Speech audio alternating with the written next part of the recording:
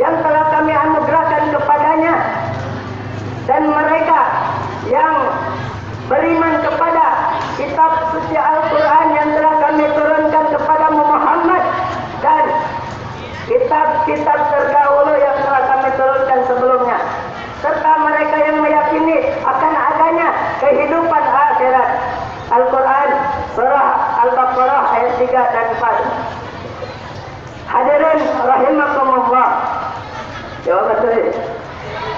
Hadirin rahimakumullah.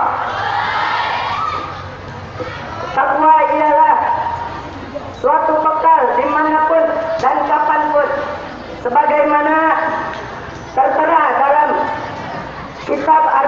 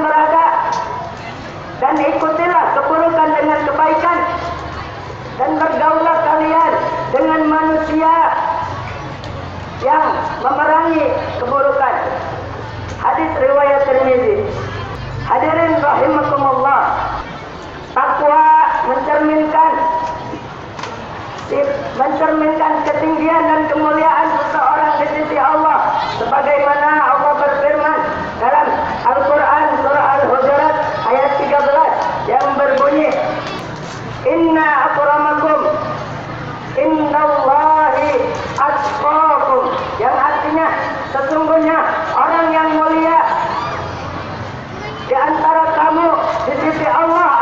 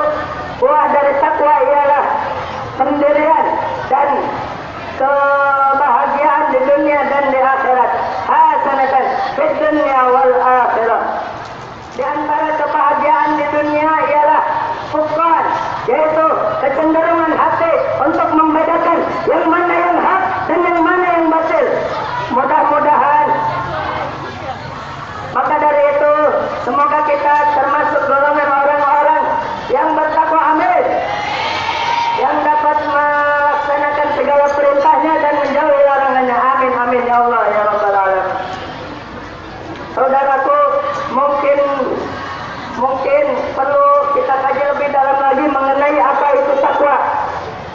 Mudah-mudahan ceramah singkat saya kali ini